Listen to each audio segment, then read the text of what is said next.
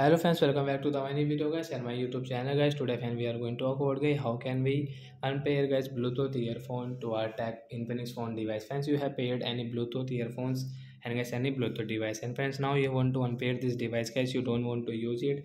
So friends you can unpair easily. And friends now let's see how can we unpair guys bluetooth earphone to our tag infinix phone device so then first of all we will on our phone setting guys after on phone setting guys we will type here guys we will search bar here guys we will click here blue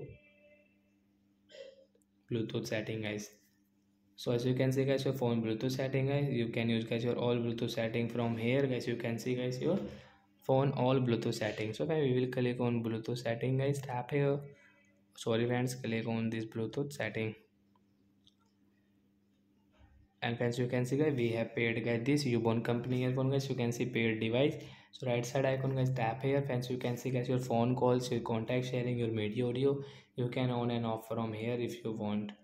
So when you can see guys the forget option means unpair guys. Tap on guys the forget option guys. Tap here to unpair. Then guys it will unpair to your phone guys. You cannot use guys. You can see guys if we use uh, we will have to give this permission. We will have to click on guys this pair option. Then guys we can use it. Otherwise not it so like they guys we can unpair guys neckband earphone so guys thanks for watching the video bye guys